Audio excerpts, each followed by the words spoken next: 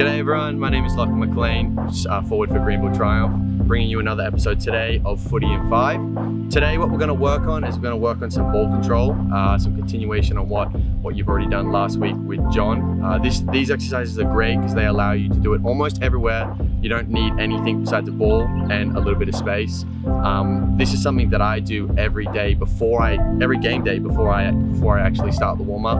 It just gets me locked in and uh, ready and makes me feel focused and makes my touch feel good.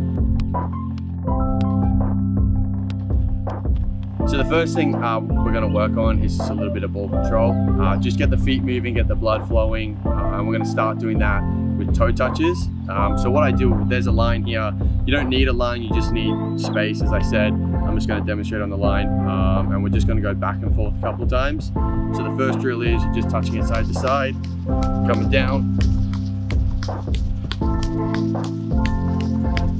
Then you get to the point you stop, and then what we're going to do is we're going to turn around, I want to go back with sole taps. So when we go back with sole taps,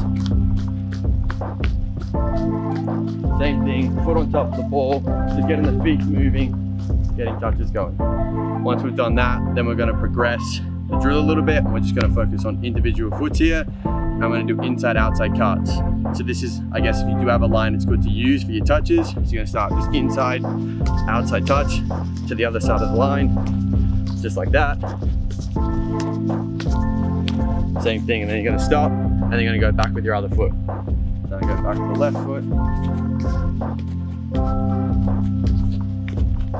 Just keeping the blood not flowing, getting the body moving.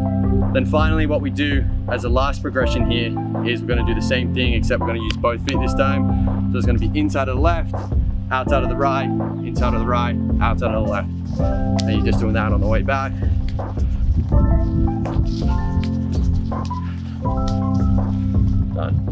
Now that, now that we've done that, we've got our body moving and our blood flowing, the next progression is to move into working on our touch. Now, when I get to this part, I feel warm, I feel ready. I just wanna make sure, especially my position as a striker, a lot of the time I'm bringing balls down out of the air.